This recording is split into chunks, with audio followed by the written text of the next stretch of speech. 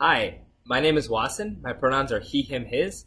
I'm a fourth year studying neuroscience and global Asian studies. One thing that I learned during my time at UIC was to try to find professors who are inspirational and who can be really strong mentors to you, and to try to take some classes that might be kind of far out. Um, as a neuroscience student, I found some of the best professors um, were those who taught global Asian studies, who taught anthropology, and who taught gender and women's studies. These are classes that, as a science kid, I never thought that I'd be taking. But by taking them, I learned so much both about myself and about the world around me and what the conditions are like. So definitely try it out if you get a chance to.